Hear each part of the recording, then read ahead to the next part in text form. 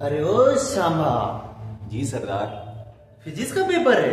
हाँ सरदार। डरने का नहीं।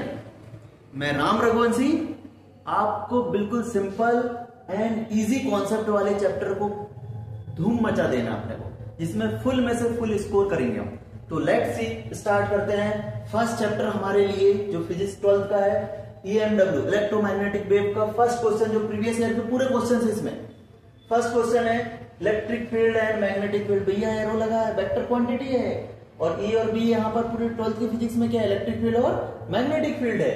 और यहाँ पर बोला है कि रिप्रेजेंट करते हैं इलेक्ट्रोमैग्नेटिक वेव में तो अपने को बताना था direction of propagation of wave wave की डायरेक्शन बताना है। तो अपने को एक सिंपल इजी फॉर्मूला है यहाँ पर पूरे चैप्टर में। एबीसीडी वाला फॉर्मूला जिसको हम बोलते हैं। बीसी इज़ इक्वल टू क्या होता है मेरे भाई? ई e. क्या होता है? BC is equal to E अब यहाँ पर अपने को डिसाइड है कि ए बी और ई e तो होगा नहीं। ऑप्शंस को एलिमिनेट कर अब ये दो ऑप्शंस में कंफ्यूजन है। थोड़ा सा बेसिक आई जे के जे के आई ये आपने पढ़ा ही होगा। क्रॉस प्रोडक्ट बस यहाँ पर भी हुई बीसी इज़ इक्वल टू क्या होता है? ई e, तो बी क्रॉस सी क्या होगा? ई सी क्रॉस ई क्या होगा? बी तो ये वाला सीक्वेंस इधर चलेगा फिर ये सीक्वेंस चलेगा फिर ये चलेगा। मतलब ई e पहले आएगा फिर क्रॉस बी आएगा इक्वल टू क्या हो जाएगा? सी इसका मतलब आंसर कौन सा हमारा हमारा सी नेक्स्ट क्वेश्चन पे चलते हैं the electric field of electromagnetic wave ये अपने को एक इक्वेशन दिया? किसका दिया भाई? इलेक्ट्रिक फ़ील्ड का. ये दिखा मतलब इलेक्ट्रिक फ़ील्ड और किसमें दिया है इलेक्ट्रिक फ़ील्ड एक्स एक्सिस में. बट यहाँ पर वेव क्या दिया है? के डब्ल्यू के जेड अगर आपको sine omega T plus K Z दिया है तो ओमेगा टी तो क्या बताता है? फेस और ये बाद वाला क्या दिखाता है? वेव की डायरेक्शन और क्या लिखा है भाई? जेड जेड और के तो वेव नंबर और जेड क्या है? वेव की प्रोपोगेशन डायरेक्शन इसका मतलब first question in which direction in the wave propagate तो क्या जाएगा भाई? जेड ये देखो Z answer next in which direction does the magnetic field oscillate अब जब एक्स में इलेक्ट्रिक फ़ील्ड है जेड में क्या होगी हमारी वेव तो थ्री थ्री डायमेंशन होता है। ये अगर एक्स इलेक्ट्रिक फ़ील्ड को शो कर रहा है, और जेड क्या शो कर रहा है भाई? वेव को मतलब स्पीड या वी बोल सकते हैं तो बचा वाला क्या है? बाय शो करेगा भाई मेरे? मैग्नेटिक फ़ील्ड को। तो इसका मतलब किधर? मैग्नेटिक फ़ील्ड प्रोपोगेट होगी। तो मैग्नेटिक फ़ील्ड बाय एक्सिस में प्रोपोगेट हो रही है। Next question write two characteristic of electromagnetic wave कोई भी कैरेक्टरिस्टिक तो क्या है भाई ये? कहा? इसको मीडियम की रिक्वायरमेंट नहीं होती, जैसे लाइट को होती है। सेम बिहेव करता है, और ये एबीसीडी वाला फॉर्मूला जो पढ़े हमने BC is equal to A भी लिख सकते हैं हम। और जितने भी हैं प्रॉपर्टीज़ एक्स रे वगैरह, जिनकी जो प्रॉपर्टी वो उनमें से कोई भी लिख सकते हैं। Next question choose the correct option wavelength of different part of electromagnet फिर क्या आ गया? स्पेक्ट्रम मतलब ये उसी चैप्टर का ये अंडरस्टैंडिंग है। तो इलेक्ट्रोमैग्नेटिक वेव का पूरा चार्ट याद रखना अपने को। टाइप्स ऑफ़ वेव्स कितनी टाइप की होती है? वेव टोटल सेवन टाइप की। फ़र्स्ट क्या होती है? गामा गामा का रिप्रेजेंटेशन ये होता है। गामा रे और गामा कैसा भाई जैसा दिखता है, उसके जस्ट बाद क्या आएगा भाई? एबीसीडी में तो यूवी आएगा यूवी रे। फिर थर्ड क्या होगा हमारा भाई? X ray. सॉरी गामा के पहले, गामा बाय जैसा दिख रहा है बाय के जस्ट पहले आता है एक्स और एक्स के पहले क्या आएगा भाई? UV ray. तो गामा एक्स रे, फिर यूवी और इसकी वेवलेंथ सबसे कम होती है। गामा की सबसे अधिक किसकी होती है? रेडियो वेव की। तो इसका मतलब और फोर्थ नंबर पे अपने को याद रखना विजिबल रे फिफ्थ नंबर पे इंफ्रारेड विजिबल रे जिससे हम टीवी देखते हैं। इंफ्रारेड मतलब रिमोट वगैरह में जो यूज़ करते हैं और सिक्स होगा हमारा माइक्रोवेव इस तरीके से अपने को सेवन याद रखना है। फिर से एक बार देख लो। गामा मतलब बाय जैसा सिंबल है मतलब बाय फिर उसके बाय के पहले जस्ट क्या आता है? एक्स आता है और एक्स के जस्ट पहले क्या आता है? ये तीनों सिक्वेंस याद हो गया। लास्ट वाला रेडियो वेव सिक्वेंस याद होना चाहिए। Fourth number visible visible ray के बाद इंफ्रारेड और इंफ्रारेड के बाद क्या बचा? माइक्रोवेव सबसे कम वेवलेंथ किसकी होती है? गामा की। सबसे अधिक किसकी होती है? रेडियो की। और विजिबल रे में कितने कलर्स होते हैं? सेवन सेवन कलर्स होते हैं तो इसकी वेवलेंथ क्या जाएगी माइनस सेवन मीटर ऐसा रख लेंगे। फ्रिक्वेंसी की बात करते हैं। फ्रिक्वेंसी जस्ट वेवलेंथ की अपोजिट होती है। इसकी वेवलेंथ कम है तो फ्रिक्वेंसी सबसे ज़्यादा होगी ten to power twenty three इसकी होगी टेन टू पावर नाइन क्योंकि इसकी वेवलेंथ ज़्यादा है तो फ्रिक्वेंसी कम होगी। और इसकी सेवन सेवन है तो इसका डबल क्या होता है? फोर्टीन फोर्टीन हर्ज हो जाएगी, काम खत्म। तो अब यहाँ पर पूछ रहा है कि इलेक्ट्रो स्पेक्ट्रम में वेवलेंथ से रिलेटेड देख रहा है। तो अपने को मालूम है वेवलेंथ किसकी ज़्यादा होती है रेडियो वेव की। तो ऑप्शन में दिख रहा है सबसे ज़्यादा किसका दिख रहा है? रेडियो वेव यही ऑप्शन हो जाएगा, काम खत्म। रेडियो बाद क्या दिख रहा है? माइक्रो माइक्रो पहले क्या दिख रहा है? अब इंफ्रारेड नहीं दिया तो विजिबल होगा। विजिबल के फिर क्या आएगा हमारा एक्सरे तो इसका मतलब हमारा सी ऑप्शन हो जाएगा। बस इसको याद रख लेना। काम खत्म। ये लगा डाला तो लाइव जिंगल डाला। Next question identify the part of electromagnetic spectrum which is next to the lowest frequency end of the visible visible ray के नेक्स्ट कौन सा लोवेस्ट होगा? तो अपने को मालूम है, ऊपर से आते हैं तो हम फ्रिक्वेंसी क्या होती है? डिक्रीज होती है। तो विजिबल के बाद कौन सा आता है अपना? इंफ्रारेड तो इंफ्रारेड आएगा भाई अपने को। Infrared next question produce by bombarding of metal target by high energy electron मतलब फिजन एनर्जी वो फिजन रिएक्शन फिजन में क्या है? क्या मिलता है भाई? तो उसमें होता है हमारा एक्सरे और एक्सरे होता है तो एक्सरे का यूज़ कहाँ पर है? क्रिस्टल लेक्चर में और detection of fracture in bones में. नेक्स्ट चैप्टर बेटा. डुअल नेचर ऑफ़ लाइट इसमें ओनली तीन बातें हैं. प्लांस आइंस्टीन और डी ब्रॉगली ठीक है? उसी पे बेस्ड क्वेश्चन आते हैं. देखते हैं अपन. First the energy of photon wavelength six six hundred sixty three nanometer क्या पूछा बेटा? एनर्जी और क्या दिया है? वेवलेंथ और एनर्जी और वेवलेंथ ना प्लांट्स ने अपने को बताया है इक्वल टू क्या होता है बेटा? एस सी वाई लेमडा या इक्वल टू एच न्यू होता है बट वो फ्रिक्वेंसी बोलता है, तब ये वाला फॉर्मूला लगाएँगे वरना हम simple equal to S C Y lambda लगा के अपने को एच प्लांट्स कांस्टेंट पता ही होता है six point six two into ten to minus thirty four C बेटा स्पीड ऑफ़ लाइट होती है लेमडा गिवन अपने को, ये पर किसमें दिया है? नैनोमीटर में तो इसको किसमें कन्वर्ट कर लेंगे हम? इसमें कन्वर्ट करेंगे इसको मीटर में। और नैनो मतलब होता है ten to power minus nine इसकी वैल्यू पुट करेंगे, आपका आंसर आ जाएगा सी नेक्स्ट क्वेश्चन बेटा हमारा how would the stopping potential for a given photo photo sensitive surface change first बोला है the frequency of incident radiation were increase अगर फ्रिक्वेंसी इंक्रीज करेंगे तो स्टॉपिंग पोटेंशियल क्या होगा? तो हमने पढ़ा बेटा Einstein photo electric equation photo effect electric equation तो क्या होता है बेटा हमारा? तो आपने ये पढ़ा होगा एनसीआरटी में। Kinetic energy is equal to H nu minus H nu not या फिर क्या पढ़ा होगा? Kinetic energy one by two MV का square equal to H nu minus work function या फिर हम इसको, जो काइनेटिक एनर्जी है, वो स्टॉपिंग पोटेंशियल के इक्वल होती है, पढ़ लिया हमने। और ये हमारा इस तरीके से हम इसको लिख सकते हैं। इसका मतलब ये समझ में आया हमारा कि भाई स्टॉपिंग पोटेंशियल जब ये स्टॉपिंग पोटेंशियल किसके प्रोपोर्शनल दिख रहा है? फ्रिक्वेंसी के। स्टॉपिंग पोटेंशियल डायरेक्टली प्रोपोर्शनल है इसका मतलब फ्रिक्वेंसी इंक्रीज होगी तो पोटेंशियल भी इंक्रीज होगा not answer next question intensity of incident radiation were decrease अगर इंटेंसिटी डिक्रीज होगी तो इस पे इफ़ेक्ट ही नहीं करता है. इंटेंसिटी से कोई लेना देनी ओनली किस पे डिपेंड करता है? फ्रिक्वेंसी पे. इंटेंसिटी पे डिपेंड ही नहीं करता है. आगे आते हैं नेक्स्ट क्वेश्चन के पास. अपने को एक फिगर दिया है उसमें फिर से क्या बोल रहा है? फ़ोटो इलेक्ट्रिक करंट वर्सेस किस पे है? ये वोल्टेज और किसमें है बेटा? करंट में रिलेशन और अपने से पूछा है कि टू डिफरेंट मटेरियल्स लिए हमने। और उसमें हमको क्या intensity identify the pairs of curve और डिफरेंट टाइप और जस्टिफाई योर आंसर बस अपने को कर्व देख के इसका आंसर बताना है। अपन ये वाला कर्व पढ़े बेटा वोल्टेज और ये क्या होता है हमारा? करंट और पॉजिटिव वोल्टेज तो ठीक है नेगेटिव वाले वोल्टेज को हम क्या बोलते हैं बेटा? स्टॉपिंग वोल्टेज को क्या बोलते हैं हम? नेगेटिव वोल्टेज और यहाँ पर दिख रहा है कि वन और टू का स्टॉपिंग पोटेंशियल क्या है? सेम है। और ये थ्री और फोर जो गया कर उसका भी स्टॉपिंग पोटेंशियल क्या है? सेम इसका मतलब इसका कोई स्टॉपिंग पोटेंशियल ये दोनों किसका है? वन और टू का। और ये वाला स्टॉपिंग पोटेंशियल किसका है बेटा?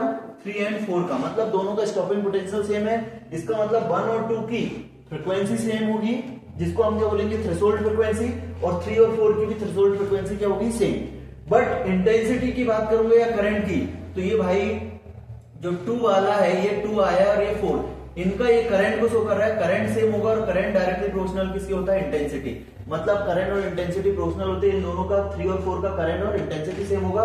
बट अपना स्टॉपिंग पोटेंशियल डिफरेंस होगा थ्रेशोल्ड फ्रिक्वेंसी सेम होगा. सेम इसके लिए वन और थ्री के लिए भी यहाँ पर करंट ये अगर आई वन ये अगर हम किसके लिए बात कर ले टू और फोर के लिए तो ये वाला करंट हमारा किसके लिए हो जाएगा? वन एंड थ्री के लिए. और जो कि थोड़ा सा उससे इंक्रीज होगा। नेक्स्ट क्वेश्चन पे आते हैं बस इतना सा बेसिक से याद रखना है। The momentum of photon of wavelength is momentum पूछ रहा है वेवलेंथ पूछ रहा है और हमने डी ब्रॉगली पढ़ा है। क्या पढ़ा है भाई? Momentum is directly proportional to one upon lambda या P equal to H Y lambda पढ़ा हमने। तो इसका मतलब क्या है? तो मोमेंटम और वेवलेंथ में relation H Y lambda C option हो गया करेक्ट नेक्स्ट क्वेश्चन हमारा। एक इस तरीके से हमको दिया है फिर से। किसमें वोल्टेज और करंट में एक ग्राफ दिया है और अपने को एबीसीडी में से पूछ रहा है कि एग्जामिन द फिगर और एक केस स्टडी वाला क्वेश्चन बेटा। केस स्टडी आती है, उससे नो टेंशन लेना है। वो तो और इजी है हमारे लिए। First which light beam has the highest frequency highest frequency बोल रहा है। मैंने अभी बताया कि जिसका स्टॉपिंग पोटेंशियल ज़्यादा, उसकी फ्रिक्वेंसी हाई तो स्टॉपिंग पोटेंशियल नेगेटिव होता है साइन दिया है स्टॉपिंग पोटेंशियल सबसे ज़्यादा किसका होगा बेटा? बी का। तो उसकी फ्रीक्वेंसी भी क्या होगी? उसी बी की ज़्यादा होगी। इसका मतलब आंसर किसका आएगा? बी का। Next question which light beam has the longest wavelength longest wavelength किसका होगा बोलते हैं? जिसकी फ्रीक्वेंसी कम, उसकी फ्रीक्वेंसी वो उसकी वेवलेंथ ज़्यादा। हमने ईएमडब्ल्यू वाले चैप्टर में पढ़ा है। तो यहाँ लॉन्गेस्ट वेवलेंथ जिसकी फ्रीक्वेंसी कम फ्रीक्वेंसी कम किसकी दिख रही बेटा? जो सबसे पास में रहेगा तो ये वाला सी वाला तो इसका आंसर क्या हो जाएगा बेटा? जिसकी फ्रीक्वेंसी कम, उसकी वेवलेंथ ज़्यादा। क्योंकि जस्ट इसके अपोजिट नेक्स्ट क्वेश्चन देखते हैं बेटा। Which light beam eject electrons with maximum momentum maximum momentum क्या होगा बेटा? फिर ड्रिप होगी, अब भी पढ़ा हमने। P equal to H Y lambda जिसकी वेवलेंथ कम, उसका ज़्यादा क्या होगा? हमारा मोमेंटम और वेवलेंथ किसकी कम होगी? जिसकी फ्रीक्वेंसी ज़्यादा। इसका मतलब फ्रीक्वेंसी ज़्यादा किसकी है? बी की तो उसकी वेवलेंथ कम और उसका क्या हो जाएगा भाई? मैक्सिमम क्या हो जाएगा हमारा? मोमेंटम तो आंसर क्या हो जाएगा मेरा भाई?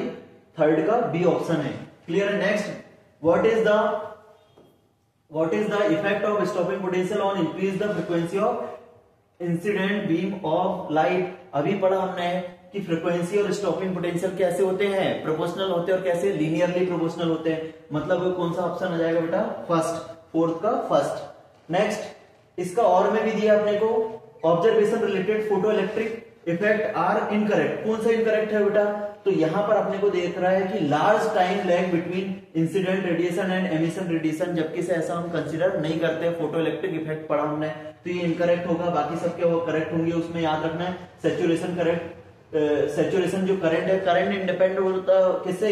फ्रीक्वेंसी पे डिपेंड नहीं करता है। सेचुरेशन करंट हाँ इंटेंसिटी के प्रोपोर्शनल होता है। और नेक्स्ट हमारा current directly proportional to intensity ये लोग कंप्लीट हो गया आपका। और इसमें ओनली दो चीज़ें रदरफोर्ड मॉडल और बोहर मॉडल फ़र्स्ट क्वेश्चन देखते हैं the atomic number of an atom represent atomic number क्या रिप्रेजेंट करता है बेटा? तो एटॉमिक नंबर कौन रिप्रेजेंट करते हैं? प्रोटॉन्स करते हैं। तो बच्चों वाला क्वेश्चन बेटा। Next question the diagram for four energy level दिए अपने को हाइड्रोजन एटम के लिए और बोहर मॉडल और हाइड्रोजन एटम के लिए। और पूछा identify the transition in which the emitted photon will have the highest energy transition पूछा बेटा, और एमिटेड फोटोन पूछा है, ना कि ऑर्बिट की एनर्जी लेवल पूछा है।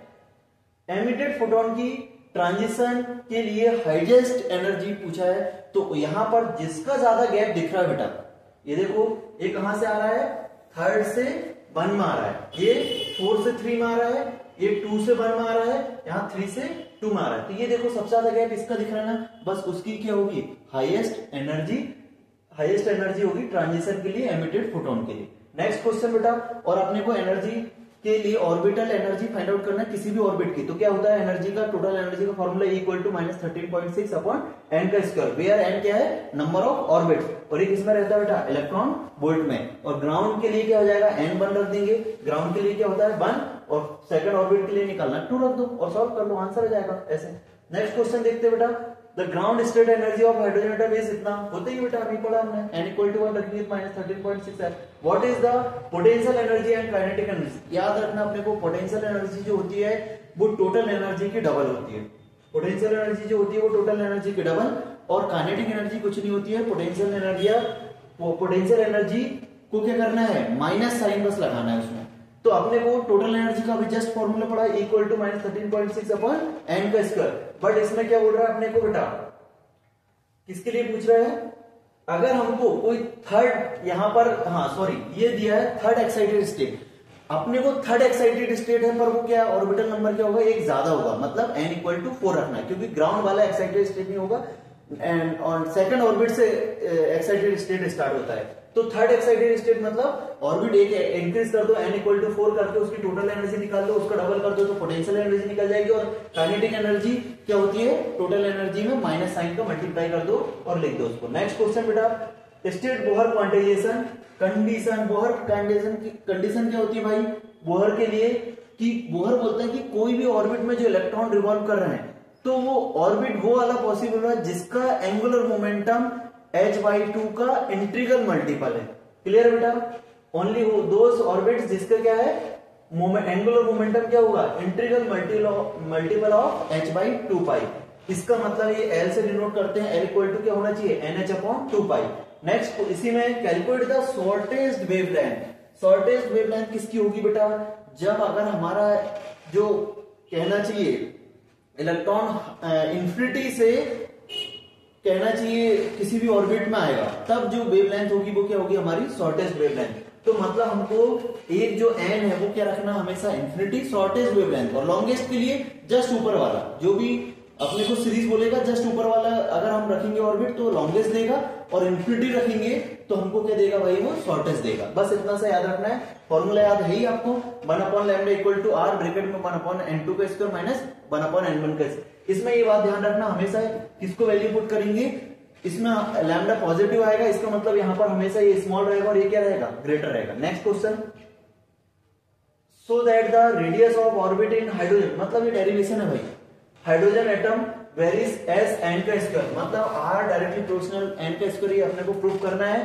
तो इसका मतलब अपन क्यों मालूम है कि भाई, यहाँ पर बोहर मॉडल के अकॉर्डिंग जो हमारा न्यूक्लियस में प्रोटॉन न्यूट्रॉन होते हैं इलेक्ट्रॉन रिवॉल्व करता है तो प्लस और माइनस के बीच में क्या है, अपने फ़र्स्ट चैप्टर में पढ़े इलेक्ट्रोस्टैटिक में, क्या लगता है कुलाम्सला कुलाम्सला क्या होता है K q one q two upon R का स्क्वायर और यहाँ पर प्रोटॉन और इलेक्ट्रॉन पे चार्जेस सेम होते तो क्या लिख सकते हैं K q one q two मतलब सेम सेम है अपॉन आर का स्क्वायर वही फॉर्मूला है। और जब भी कोई रिवॉल्व करता है तो उसके लिए क्या रिक्वायरमेंट होती है? सर्कुलर मोशन के लिए सेंट्रीपिटल फोर्स और सेंट्रीपिटल फोर्स क्या होता है? एमबी का स्क्वायर अपॉन आर बस यही प्रोवाइड करेगा अपने को एमबी का स्क्वायर अपॉन आर इससे अपन क्या है? V की वैल्यू निकाल लेंगे, और v की वैल्यू हमने जो कंडीशन पढ़ी अभी एंगुलर मोमेंटम वाली N H upon two pi उसमें हम वैल्यू पुट कर देंगे तो हमारा क्या जाएगा? यहाँ पर radius directly proportional to n का स्क्वायर नेक्स्ट लास्ट हमारा, देखते हैं हम energy level of diagram hydrogen atom और अपने को बोलना mark the transition transition level पे series lying in the ultraviolet visible और इंफ्रारेड सबसे लाइमन सीरीज़ देती है हमारी अल्ट्रावायलेट रे और बामा सीरीज़ देती है विजिबल रे इसके अलावा जितनी भी रेज है, वो सब क्या देती है? इंफ्रारेड इसके बाद हम यहाँ पर इनको मार्क करना है तो ये ग्राउंड स्टेट की एनर्जी पता ही हमको, सब इलेक्ट्रॉन वोल्ट में। ये याद रखना है कि इस पूरे चैप्टर में जो एनर्जी की यूनिट है वो इलेक्ट्रॉन वोल्ट है। और ग्राउंड स्टेट के लिए वन एक्साइटेड सेकंड से स्टेट होता है सेकंड ऑर्बिट बट ये वाला सेकंड ऑर्बिट के लिए जो एक्साइटेड स्टेट होती है वो क्या होती है? फ़र्स्ट होती है। नेक्स्ट नेक्स्ट चैप्टर बेटा हम देखते हैं न्यूक्लियस न्यूक्लियस में क्वेश्चन जो आते हैं, थोड़ा बेसिक्स अपने को ध्यान देना है। रेडियस ऑफ़ न्यूक्लियस किस किसके डायरेक्टली प्रोपोर्शनल होती है? मास नंबर के power one by three proportional होती है नेक्स्ट वॉल्यूम जो होता है डायरेक्टली प्रोपोर्शनल होता है मास नंबर के और डेंसिटी डिपेंड ही नहीं करती। फ़र्स्ट क्वेश्चन देखते हैं mass density of nucleus of mass number तो डेंसिटी मैंने अभी जस्ट बताया कि यहाँ पर डिपेंडेंट नहीं होती मतलब इसका ऑप्शन किया जाएगा इंडिपेंडेंट होगा ए से। नेक्स्ट क्वेश्चन हमारा draw the so the variation of binding energy per nucleon binding energy per nucleon और किसको में लेते हैं इसको? मेगा इलेक्ट्रॉन वोल्ट में। ऐसा फ़ंक्शन ऑफ़ मास नंबर ये वाला एनसीआरटी में अपने को डायग्राम में पूरा याद हो जाना चाहिए, क्योंकि इससे रिलेटेड प्रीवियस ईयर्स में बहुत सारे क्वेश्चन आए, काफ़ी ईयर्स में आए। अब यहाँ पर पूछा है the binding energy per nucleons of for heavy nuclei decrease with the increase in mass number तो बेटा अपने को ध्यान रखना है कि मिडिल बस में क्या होता है मतलब 56 जो होता है हमारा आयरन जिसका मास नंबर 56 होता है, उसके लिए बाइंडिंग एनर्जी पर न्यूक्लियन सबसे ज़्यादा होती है। उससे कम वाले के लिए भी मतलब जिसको हम लाइटर मास नंबर या लाइटर न्यूक्लियस बोल सकते हैं न्यूक्लियस और हैवियर न्यूक्लियन दोनों के लिए क्या होता है बेटा? अपनी बाइंडिंग एनर्जी पर न्यूक्लियन कम होती है, इसलिए ये दोनों अनस्टेबल होते हैं। ये अनस्टेबल होते हैं लाइटर वाले इसलिए कंबाइन होकर क्या बन जाते हैं? फ्यूजन फ्यूजन करते हैं न्यूक्लियर फ्यूजन और ये हैवियर भी अनस्टेबल हो जाते हैं, इनके पास बाइंडिंग एनर्जी कम होती है तो ये ब्रेक होके न्यूक्लियर फिजन रिएक्शन देते हैं फिर से स्टेबल होते हैं। क्योंकि जिसकी बाइंडिंग एनर्जी ग्रेटर होगी, वो क्या होगा? स्टेबल होगा। तो ये बस इसी से रिलेटेड यहाँ पर दिया बेटा, और उसका रीजन क्या बताया? अनस्टेबिलिटी इसलिए क्या होते हैं कि इंक्रीज करने पे मास नंबर इंक्रीज होगा तो डिक्रीज होगा। यहाँ पर गैप देखना बेटा zero fifty hundred one fifty two hundred one two fifty आएगा बेटा यहाँ पर। ठीक है? नेक्स्ट हमारा क्वेश्चन यहाँ पर distinguish between nuclear fusion fusion अभी बताया बेटा, न्यूक्लियर फ्यूजन क्या होता है बेटा? तो न्यूक्लियर फ्यूजन हमारा, न्यूक्लियर फ्यूजन की बात करेंगे, फ्यूजन में क्या होता है बेटा? ऐड होता है, लाइटर वाले ऐड होंगे, और क्या बनाएँगे? हैवियर में कन्वर्ट होंगे, और कन्वर्ट क्यों हो रहे हैं? स्टेबल के लिए। और फ्यूजन में क्या होगा बेटा? जो हैवियर है वो ब्रेक होके टू पार्ट्स में और स्प्लिट होगा, और क्या है? लाइटर में कन्वर्ट हो जाएगा, जिससे फिर वो स्टेबल हो सकता है। Explain the release of energy in nuclear fusion और फ्यूजन में ऑन दिस बाइंडिंग एनर्जी मैंने देखा हूँ कि ज्वाइन करेंगे तो इंक्रीज होगी फ्यूजन से भी और वहाँ पर ब्रेक होंगे, तब भी वो स्टेबल होंगी मतलब इंक्रीज होगी। तो ये अपने को यहाँ पर example one H one one H two one H two बन रहा है यहाँ पर। फिजन में क्या हो रहा है बेटा? यूरेनियम 92 टू 35 ये तो बिल्कुल अपने को क्या करना है? न्यूट्रॉन की स्ट्राइक कराना है बम्बार्ड कराना है, जिससे हमको वेरियम और क्रिप्टॉन बनाना है। ये बहुत मोस्ट इंपॉर्टेंट है। यहाँ पर देखना है कि इतनी एनर्जी क्या है मेगा इलेक्ट्रॉन गोल्ड में रिलीज़ होती है। नेक्स्ट हमारा क्वेश्चन आएगा बेटा। एक रदरफोर्ड वाला है जो प्रीवियस चैप्टर है, पर वो कंबाइन करके दे देता है बेटा सीबीएसई तुम जानते हो। तो यहाँ पर रदरफोर्ड वाला तो रदरफोर्ड का तो अपने को बहुत ही इजी है, और इसमें डायरेक्टली हमको क्या करना है कुलामसला यूज़ करना है, और ये फॉर्मूला रख देना है। नेक्स्ट हमारा क्वेश्चन है so that density of nucleus is independent पहले ही बताया तो इसको कैसे हम करेंगे तो अभी हमने पढ़े बेटा वॉल्यूम और मास तो मास डेंसिटी बोल रहा है तो मास अपॉन वॉल्यूम होता है बेसिक फॉर्मूला मास नंबर को ए लिख देंगे हम और यहाँ पर वॉल्यूम क्या होता है? Four by three pi R का क्यू और रेडियस की अभी हमने पढ़ा है। वन बाई थ्री होता है जिससे क्या हो जाएगा? ए ए से क्या हो जाएगा? कैंसिल आउट मतलब डेंसिटी डिपेंड नहीं करती किस पे? मास नंबर पे। नेक्स्ट क्वेश्चन हमारा। थ्री नेक्स्ट चैप्टर आता है भाई सेमीकंडक्टर इसमें अपने को क्या क्या पढ़ना है? कंडक्टर सेमीकंडक्टर और इंसुलेटर में डिफरेंस जिसमें फॉरबिडन एनर्जी गैप से रिलेटेड और बैलेंस बैंड और कंडक्शन बैंड से रिलेटेड पीएन जंक्शन डायोड और एक रेक्टिफायर बस सफिशिएंट इतना। चलिए फ़र्स्ट क्वेश्चन पे आते हैं। An AC source of voltage is connected in series series में अगर एसी सोर्स अगर कनेक्ट हो रहा है वोल्टेज से with a PN junction diode and a low resistor मतलब क्या है भाई ये? हाफ़ वेव रेक्टिफायर है। और अगर पैरेलल में कनेक्ट हो रहा है लोड रेजिस्टेंस मतलब वो full wave rectifier the correct option of output voltage across load resistance will be तो अपने को एसी सोर्स दे रहा है अपने को। एसी सोर्स में फुल आता है बट ये अपने को सीरीज़ में बोला मतलब हाफ़ वेव रेक्टिफायर है और हाफ़ वेव रेक्टिफायर में अपने को डीसी आउटपुट कैसे मिलता है भाई? आउटपुट मिलता है अपने को हाफ़ मिलता है मतलब ओनली वन डायरेक्शन में आएगा, काम खत्म। ये अपना हो गया answer number C next question when an intrinsic semiconductor is doped किसमें? ट्राइवेलेंट इंट्रेंसिक मतलब प्योर उसमें अगर हम ट्राइवेलेंट डालेंगे तो हमको क्या है? सेमीकंडक्टर की फोर बैलेंसी होती है, एक क्या है? होल बच जाएगा होल मतलब पॉजिटिव और पॉजिटिव मतलब पी टाइप का सेमीकंडक्टर बन जाएगा। नेक्स्ट क्वेश्चन हमारा difference between intrinsic and extrinsic बिल्कुल प्योर को क्या बोलते हैं हम? इंट्रेंसिक एक्सटेंसिक जिसमें हम डोप्ड कर देते हैं इंप्योरिटीज ट्राइवेलेंट करेंगे तो पी टाइप पेंटा पेंटावेलेंट करेंगे तो N type next low conductivity होती है, इसलिए तो हमने उसको किसमें कन्वर्ट करे? एक्सटेंसिक सेमीकंडक्टर में, जिससे कंडक्टिविटी हाई हो जाए. इसमें नंबर ऑफ़ इलेक्ट्रॉन्स और नंबर ऑफ़ होल्स सेम होते हैं बट इसमें सेम नहीं होते. ट्राइवेलेंट में होल ज़्यादा होते हैं पी टाइप में और एन टाइप में क्या होते हैं? एन मतलब नेगेटिव नेगेटिव मतलब इलेक्ट्रॉन ज़्यादा होंगे। नेक्स्ट क्वेश्चन हमारा सर्किट डायग्राम एक्सप्लेन करना है अपने को फुल वेव रेक्टिफायर मतलब ये तो बिल्कुल आने आना है फुल वेव हाफ़ रेक्टिफायर इसको बिल्कुल अच्छे से कंप्लीट कर लो। Full wave rectifier gives output rectified voltage तो ये अपन फुल वेव रेक्टिफायर क्या होते हैं भाई? जिसमें टू डायोड्स लगते हैं। वन डायोड टू डायोड क्या करता है ये? एसी सोर्स अल्टरनेट करंट किसको कन्वर्ट करता है? रेक्टिफायर डायरेक्ट करंट में डीसी में। यहाँ पर जब हाफ़ जाएगा तो ये पॉजिटिव होगा, ये नेगेटिव है। पॉजिटिव जब पी से, इसको पी बोलते हैं भाई ट्रायंगल जैसा होना है डंडे को क्या बोलते हैं हमें? जब पॉजिटिव पी से कनेक्ट होता है, उसको बोलते हैं फॉरवर्ड वाइज और फॉरवर्ड वाइज में अपने को अपने को करंट मिलता है। जब ये नेक्स्ट जब हाफ़ जाता है, ये वाला पोर्सन तब क्या हो जाता है? ये चेंज हो जाते हैं साइन ये माइनस हो जाएगा, और इस तरफ़ क्या हो जाएगा?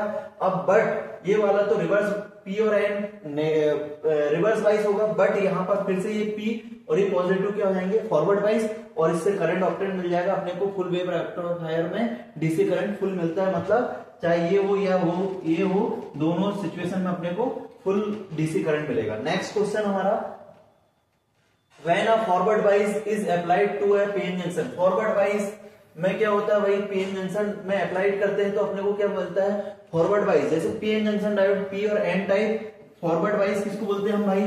जब हमारी बैटरी किससे कनेक्ट हो प्लस वाला डंडा पॉजिटिव पी से कनेक्ट हो तो उसको बोलते हैं फॉरवर्ड वाइज फॉरवर्ड वाइज तो प्लस प्लस रिपेल करते तो इधर इसको डिप्लेशन लेयर को कंप्रेस करेगा नेगेटिव नेगेटिव रिपेल करेंगे तो इसको कंप्रेस करेगा तो डिप्लेशन लेयर की थिकनेस भी डिक्रीज होगी और पोटेंशियल वेरियर भी क्या होगा, हमारा डिक्रीज होगा। मतलब C option lower the potential area potential barrier next question हमारा आता है draw V I characteristic of PN junction diode PN junction diode में एक फॉरवर्ड वाइज होता है, एक रिवर्स वाइज उसके लिए भी और आई में कैरेक्टरिस्टिक डायग्राम यहाँ पर याद रखना मिली एम्पियर होता है, यहाँ पर ये वोल्टेज की बात कर रहे हैं हम तो यहाँ पर फॉरवर्ड वाइज में किधर जाता है बेटा? ऊपर जाता है और रिवर्स वाइज में कहा जाता है? नीचे।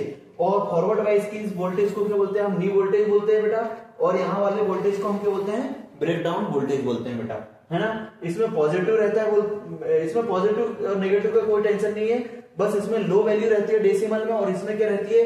25, 35 इस तरीके से हमारा वैल्यू रहती है। इसकी हाई रहती है और इसकी वैल्यू क्या होती है? वोल्टेज की लो होती है। प्लस माइनस के यहाँ कोई लोचा नहीं है। नेक्स्ट थ्रेशोल्ड वोल्टेज और ब्रेक डाउन वोल्टेज में डिफरेंस तो थ्रेशोल्ड वोल्टेज जो फॉरवर्ड वोल्टेज होता है फॉरवर्ड में उसको थ्रेशोल्ड वोल्टेज बोलते हैं उसको नी वोल्टेज भी बोलते हैं और उसको कट ऑफ़ इन वोल्टेज और ब्रेक डाउन में जो होता है उसको रिवर्स वोल्टेज भी बोलते हैं। जनरल ब्रेक डाउन वोल्टेज बोलते हैं पीक इनवर्स वोल्टेज बोलते हैं। और इसकी वैल्यू क्या होती है बेटा? बहुत लो होती है। और इसकी वैल्यू क्या होती है? जर्मेनियम और सिलिकॉन के लिए इसके लिए हाई होती है। नेक्स्ट क्वेश्चन हमारा। नेक्स्ट आता है सबसे रीजन बेटा बहुत इजी बेटा।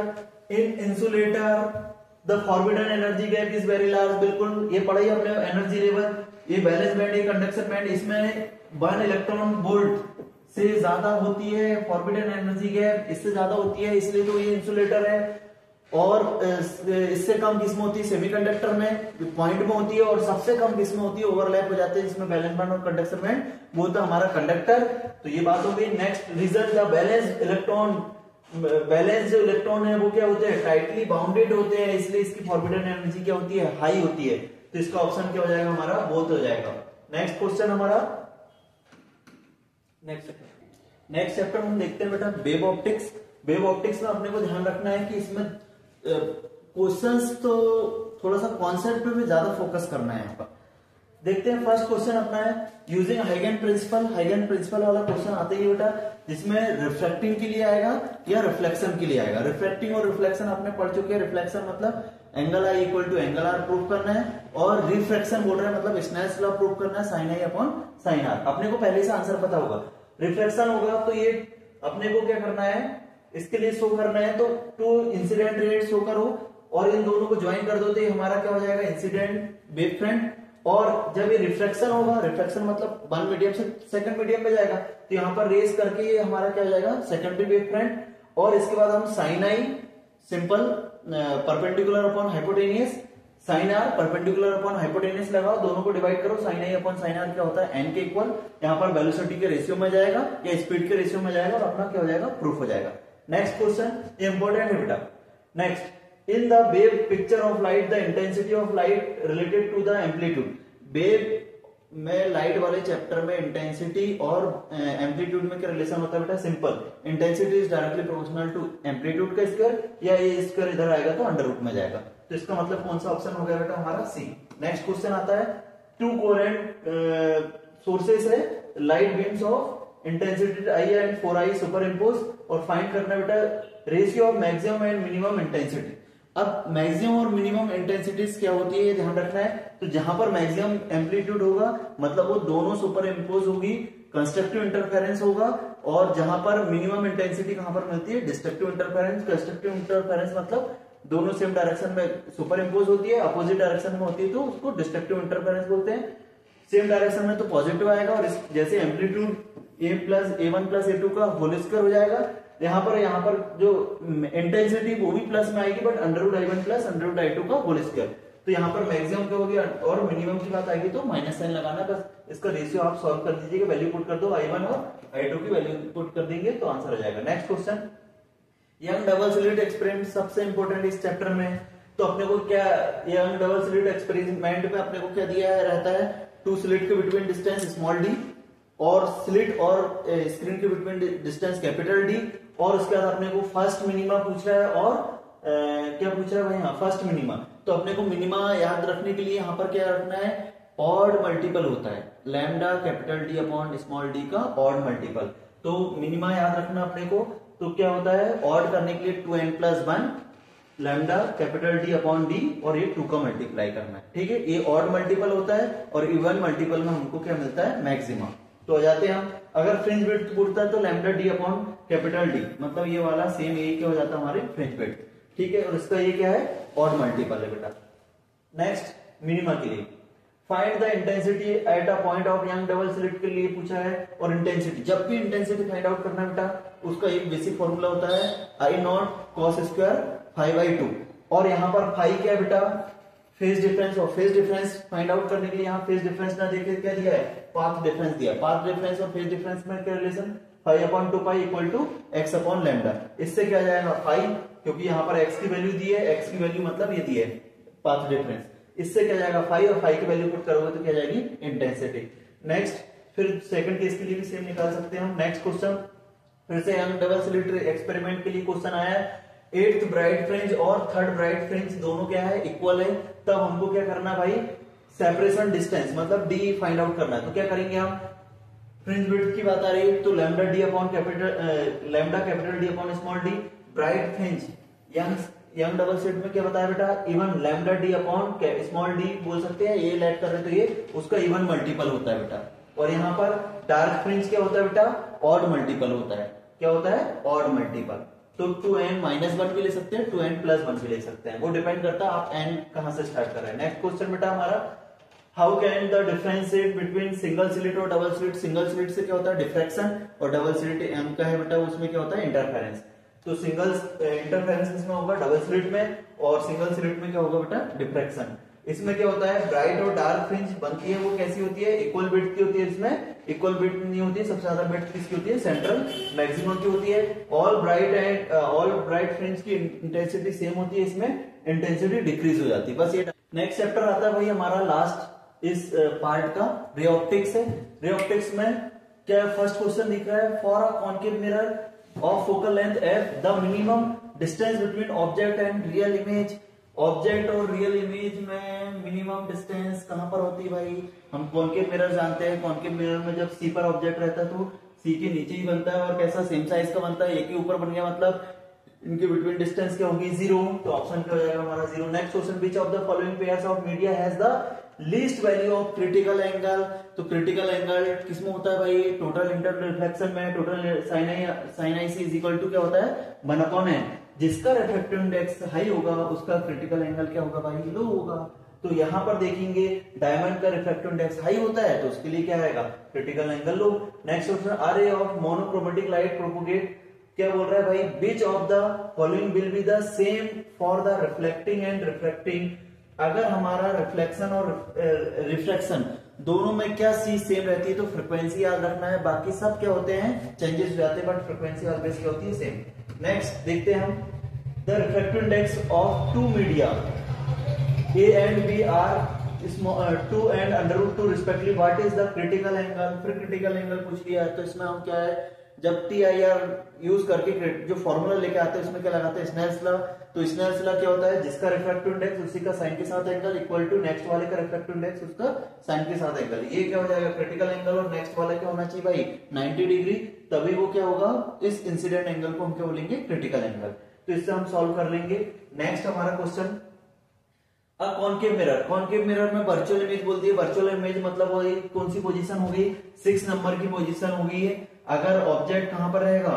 पोल और फोकस के बिटवीन रहता है। पोल और फोकस के बिटवीन तो हमारी इमेज कैसी बनती है? लार्ज बनती है और कैसी बनती है भाई? वर्चुअल एक ही कंडीशन है। बस काम खत्म। तो कैप्ट ये दिया अपने को। ऑब्जेक्ट कैप्ट ये ऑब्जेक्ट किस पोजीशन दी है? Find the focal length of mirror अब ये ट्वाइस एंड लार्ज मतलब क्या दिया भाई? मैग्निफिकेशन मतलब मैग्नीफाइंग मैग्नीफाइंग का मतलब एम गिवन है। एम गिवन है मतलब एम क्या दिया है? जैसे ऑब्जेक्ट का डबल हो गया, इसका मतलब क्या हो गया? साइज़ हो गया। तो H I upon H O लगाओ या सिंपली हम क्या बोल देंगे? ट्वाइस मतलब टू एम और वर्चुअल के लिए क्या होता है? पॉजिटिव वर्चुअल इमेज हमेशा इरेक्ट होती है, उसके लिए एम पॉजिटिव होता है. रियल इमेज हमेशा इन्वर्टेड होती है, उसके लिए एम क्या होता है? नेगेटिव जब ये हमको एम पता है तो हम क्या लगा सकते हैं? इससे भी फाइंड आउट कर सकते हैं, जिससे फोकल लेंथ निकालने की क्यों मिरर फॉर्मूले जब यूज़ करेंगे one upon M to one upon B plus one upon U इसमें क्या लगने वाला भाई? यू तो गिवन है भी अपने को चाहिए तो हमें मैग्निफिकेशन से माइनस बी अपॉन यू वाले फॉर्मूले से मैग्निफिकेशन फाइंड अपना भी फाइंड आउट कर लेंगे उससे क्या आएगी? Focal length next question by how much distance should be object displaced and in what direction in order to get two times enlarge real image real image कब बनती है बेटा? रियल इमेज हमारी और लार्ज कब बनती है जब हम सी के आगे रहते हैं। सी के आगे रहते हैं तो इमेज हमारी सी के पीछे बनती है और कैसी बनती है? लार्ज साइज़ की बनती है। इसका मतलब ये सी के आगे रहेगी। तो फोकल लेंथ अपने को पता ही है। तब और क्या डबल बोल रहा है और रियल बोल रहा है। रियल इमेज मैंने बताया इन्वर्टेड होती है और उसके लिए मैग्निफिकेशन क्या होता है? नेगेटिव उससे सॉल्व कर लेंगे इससे भी की वैल्यू और सॉल्व करके क्या जाएगा हमारा भाई? यू हो जाएगा। ऑब्जेक्ट डिस्टेंस और उसको यहाँ पर हम कितना डिस्प्लेस कर रहे हैं वो सॉल्व कर लेंगे। नेक्स्ट क्वेश्चन आता है ग्लास प्रिज्म की बात कर रहा है। प्रिज्म है मतलब प्रिज्म में अपने को क्या है डेरिवेशन आता रहता है इंपॉर्टेंट है। तो इसमें किसके लिए मिनिमम डेविएशन के लिए डेरिवेशन पूछ रहा है अपने को? तो और प्रिज्म एंगल तो ए होता है।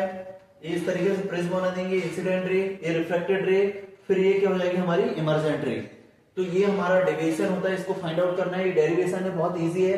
तो क्या करेंगे भाई? सिंपल हमको minimum deviation two I minus A होता है।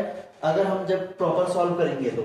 और उसके बाद हम मिनिमम डेविएशन की पोजीशन में R equal to R equal to क्या होता है? ए तो इसका मतलब आर इक्वल टू क्या हो जाएगा? ए बाई टू ला लगाएँगे sine I upon sine R और उसमें आई की वैल्यू इस वाले फॉर्मूले से पुट कर दो। Sine A plus delta minimum by two और आर की value A by two value put करो आंसर आ जाएगा।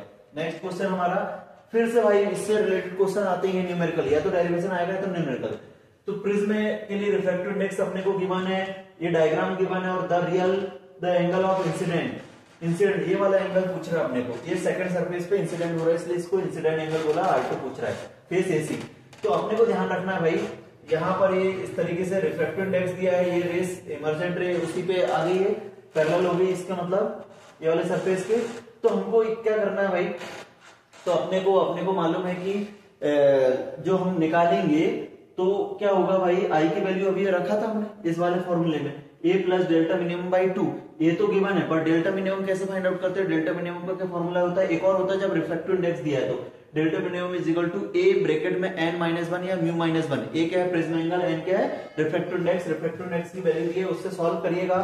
तो यहाँ पर क्या जाएगा? 60 डिग्री और यहाँ पर क्या होगा? 1.414 अंडर रूट टू की वैल्यू इसको सॉल्व करेंगे तो आ जाएगा कितना? 30 तो यहाँ पर 30 रख देना, ये सॉल्व कर लेना तो क्या जाएगा? हमारा angle of incident minimum deviation का फिर से वही फॉर्मूला है, उसमें वैल्यू पुट करेंगे, आपका आंसर जाएगा। बहुत इजी है नेक्स्ट पावर ऑफ़ लेंस तो रेसिप्रोकल ऑफ़ फोकल लेंथ को क्या बोलते हैं पावर ऑफ़ लेंस क्या यूनिट होती है डायोप्टर डिड्यूस डिड्यूस करना है हमको कंबाइंड फोकल लेंथ वाला फॉर्मूला है one upon M equal to one upon M plus one upon two two lens को कंबाइन कर दो।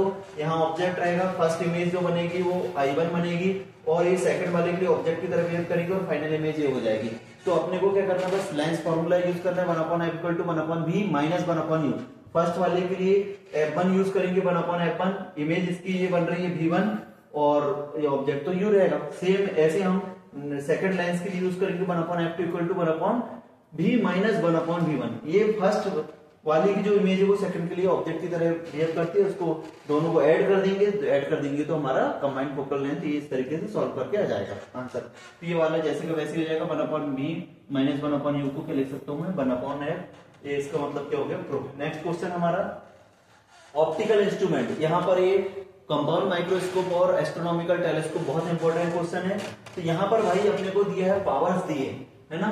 टू पावर्स दिए ऑब्जेक्टिव लेंस के लिए और आई लेंस के लिए और अपने को ट्यूब लेंस दी है। द फाइनल इमेज के लिए अपने को क्या करना है? कौन सा ऑप्टिकल इंस्ट्रूमेंट यूज़ होगा? क्योंकि यहाँ पर आई लेंस और ऑब्जेक्टिव लेंस किसमें एस्ट्रोनॉमिकल टेलीस्कोप और कंपाउंड माइक्रोस्कोप दोनों में होते हैं। तो अपन देखेंगे कि भाई जिसकी फोकल लेंथ कम होगी तो इसका मतलब वो क्या होगा हमारा?